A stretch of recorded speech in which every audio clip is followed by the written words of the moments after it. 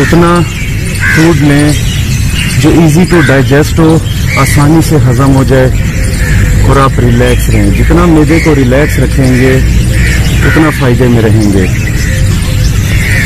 किसी भी खाने को जो टेस्टी है, आपका पसंदीदा है, आखिरी समझ के मत खाएँ। खाना वक्त पे खाएँ प्रॉपर रेस्ट लें। इन कभी किसी भाई को अल्लाह की तरफ़ से वैसे कोई तकलीफ़ आ गई तो कोई रोक नहीं सकता, कोई माई का लाभ हम सिर्फ़ एहतियात कर सकते हैं और आज एहतियात हमारी यही है। और सुन्नत भी यही है हमारी। मेरी कोशिश होती है कि हम वो काम करें जो हमारी सुन्नत के मुताबिक हो। हमारे आका सल्लल्लाहु अलैहि वसल्लम ऑलमोस्ट भूखे रहते थे। अब हम किस खेत की मूल्य हैं यार? आज चार पैसे के आ गए हैं। हम अपनी औकातें ही भूल गए हैं। जितना मैदे को खाली रखेंगे, वक्त पे भरें उसको। पूरा ना भरें। कोशिश करें कि आधा भरें। इंशाल्लाह अपने अंदर चेंजिंग आती देखें ज़्यादा खाना कोई ताकत की निशानी नहीं है। कमज़ोरी है। अपने भाई का भाई जितना हो सकता है, बहुत ख्याल रखें। फल, जूसेस की सूरत में मत लें। हरगिज मत लें। अनार खाएँ बीज समेत खाएँ। पुराने पाक में जिन चीज़ों का, जिन जिन फ्रूट का ज़िक्र है, ये नहीं है कि उसको फिर उतना खाएँ कि मुँह से बाहर निकलने लग जाए। नो। एक अनार, एक नाशपाती, बस। आजकल मौसमी फलों में। एक पाव अंगूर या एक नाशपाती।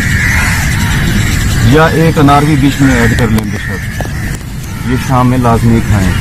अभी जितना अरसा अनार रहेगा, एक अनार लाजमी खाएँ खिलवा के।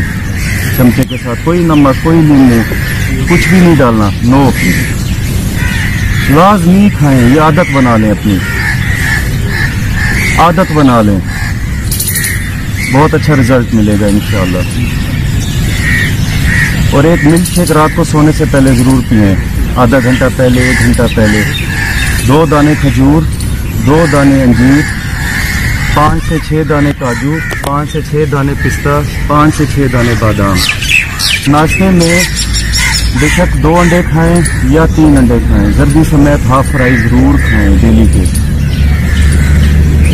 एक बाउल दही का हल्का सा नमक, हल्की सी काली मिर्च। पिसी हुई ये भी साथ में खाए ये नाश्ता बेहतरीन नाश्ता है आपका। बेहतरीन। बेहतरीन नाश्ता है आपका डॉक्टर साहब, दुनिया के काफ़ी सारे मुल्क फिर चुके हैं। आप में से भी बहुत से भाई होंगे जो दुनिया के काफ़ी सारे मुल्कों का दौरा कर चुके होंगे। दुनिया में मोस्टली मुल्कों में रोटी नहीं खाई जाती। एम आई राइट डॉक्टर साहब? हमारी जो गंदुम से बनी हुई रोटी है बहुत सारे मुल्कों में ये अवेलेबल ही नहीं है है ही नहीं सिरे से बहुत सारे लोग नहीं खाते, वो भी ज़िंदा है और एक हेल्दी लाइफ जी रहे हैं. हम रोटी का इस्तेमाल उस टाइम करें कि जब एक अच्छी एक्सट्रीमिज्म की आप एक अच्छी वर्कआउट भी करें और दिन में भी आप एक अच्छा मुशक्कत वाला काम करें. हमने यहाँ से निकलना है, सारा दिन एसी की गाड़ी में बैठ कर एसी के दफ्तर में जाके बैठने और उसके बाद एसी के कमरे में आके सो जाना है. रोटी मैं बार बार इसलिए मना करता हूँ कि ये हाई सोर्स ऑफ़ शुगर है। हाई सोर्स ऑफ़ कार्बोहाइड्रेट है और हाई सोर्स ऑफ़ आपका फैट है। ये तीनों चीज़ें इसमें काफ़ी हाई सोर्स की हैं। एम आई राइट और रॉन्ग सर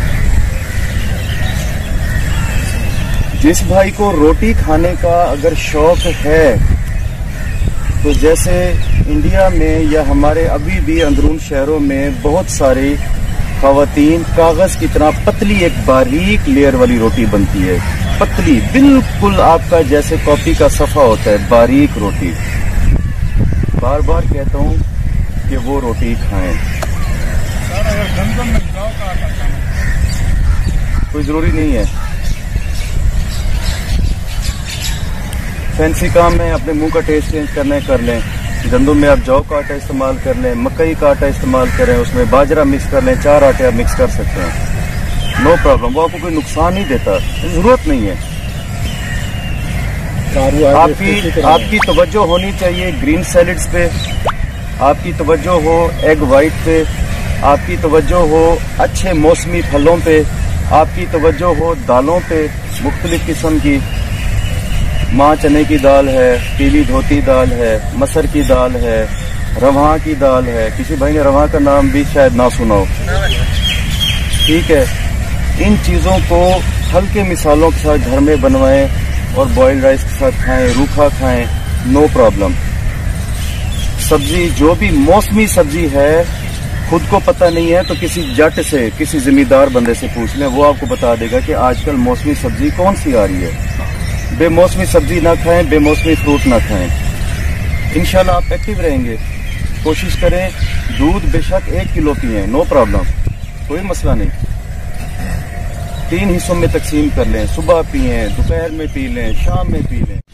दस्ती, चाप और गर्दन, इसका गोश्त इस्तेमाल करें, बाकी से अवॉइड करें। इसके अलावा मछली कोशिश करें दरिया की मिल जाए तो एयर फ्राई में बनवा के खाएँ बॉयल राइस के साथ खाएँ, चटनी बनवा के इसके साथ खाएँ। चिकन खाना है, देसी चिकन नॉर्मल सिंपल घर में जैसे आपका प्रॉपर शोरबे वाला अच्छा सा बनता है बॉयल राइस के साथ खाएँ। गोश्त नहीं खाएँ। तीन दिन हफ़्ते में गोश्त खाएँ, चार दिन आप सब्ज़ी दाल खाएँ। इंशाल्लाह बहुत अच्छी सेहत के हम मिल जाएँगे। एक्स्ट्रा फैट नहीं आएगा।